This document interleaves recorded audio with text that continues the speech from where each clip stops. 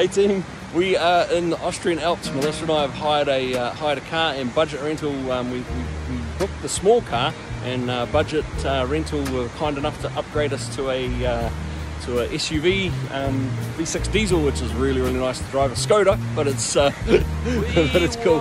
Um, anyway, we're um, we're having a cruise through the Austrian Alps. It is lunchtime, so it's just at 12 o'clock, and it is frosty, frosty cold. It's uh, 0.5 degrees, so half a degree here and uh, have a look at this. Ice, ice, ice, ice. Step past it. That's cool. Melissa's just giving me a frozen leaf, telling me to leave, leave her alone. Anyway, uh, we'll, we'll add a few pics as we go. It's pretty cool. We're rugged up a little bit warmer today because the temperature's dropped. Obviously, when we were in we're in Greece, it was 34 to 39 degrees. A week later, we're in Austria and it's a little bit chillier where we are. I will be coming home.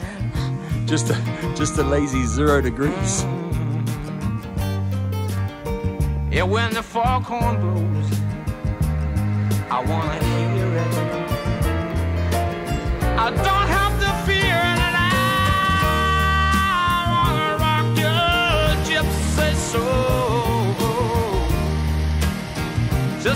way back in the days of old.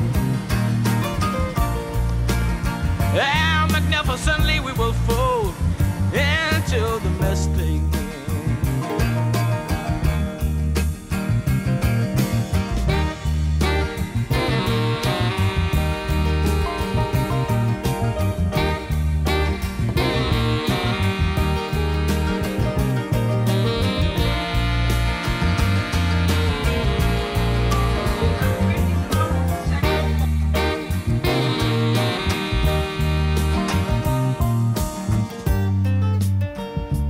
when that foghorn blows